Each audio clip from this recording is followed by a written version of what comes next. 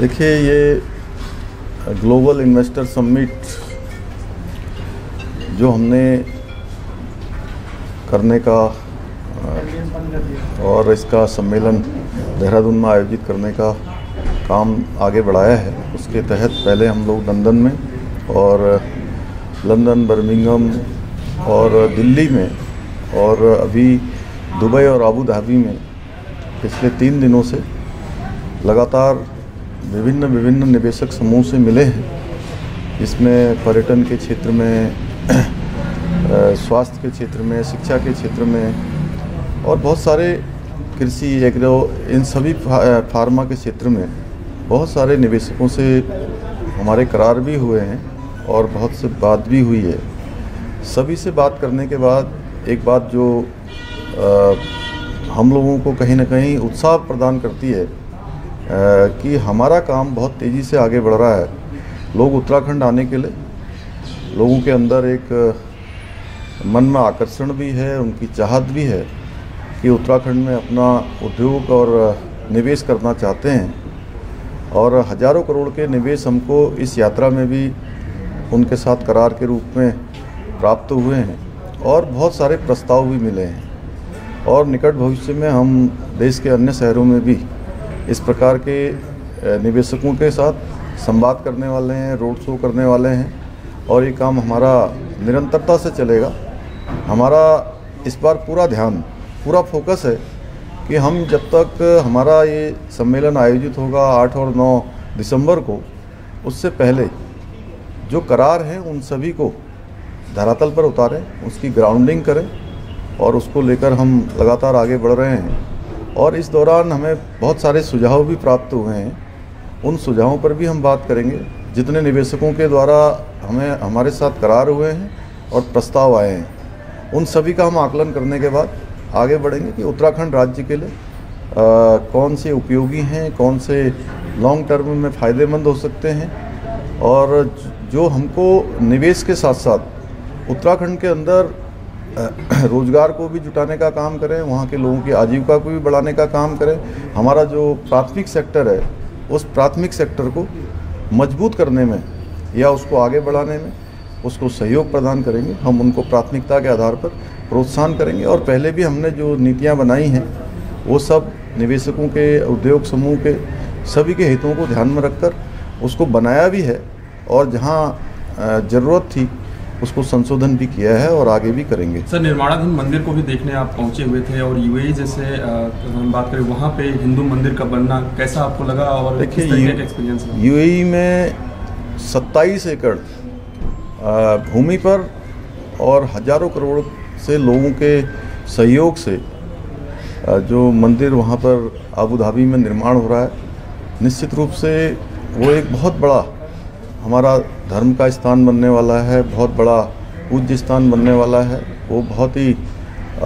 गौरवान्वित करने वाला क्षण था जब मैंने भी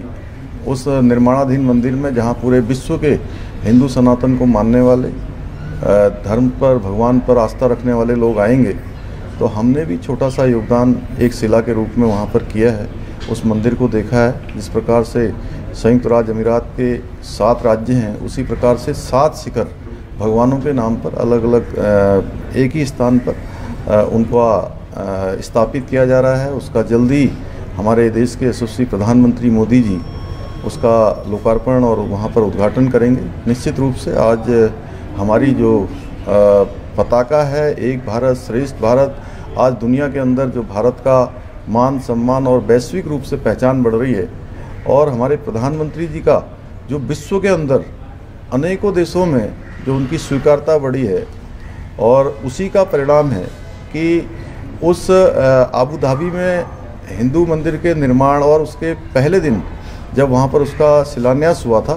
तो यूएई सरकार के तीन तीन मंत्रियों ने भी आकर वहाँ पर उसमें योगदान दिया है। निश्चित रूप से आदरणीय प्रधानमंत्री जी का भी इसमें बहुत बड़ा योगदान है कि उनकी प्रेरणा से विदेश की धरती पर इतना भव्य और दिव्य मंदिर का निर्माण हो रहा है। सर एक लास्ट सवाल है पॉलिटिकल है कि अखिलेश यादव आज़म को सजा सुनाई गई अखिलेश यादव का है मुसलमान होने की वजह से वो ये सजा भुगत रहे देखिए हमारे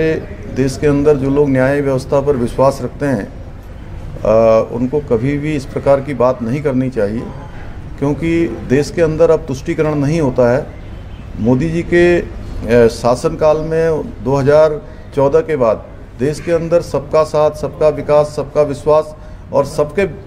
प्रयास के आधार पर काम हो रहा है। अब तुष्टिकरण नहीं बल्कि संतुष्टिकरण पर काम हो रहा है। सर एक सवाल और है। चुनाव है पाँच राज्यों में और जैसे कि देख रहे जो आईएनडी गठबंधन बना है वहाँ जो उनके प्रत्याशी उतारे जा रहे हैं वहाँ अन्य विपक्षी दल भी जो उनका सहयोगी दल कह सकते हैं वो भी अपने कैंडिडेट उतार रहा है। ऐसे में क्या लग रहा है कि ये एक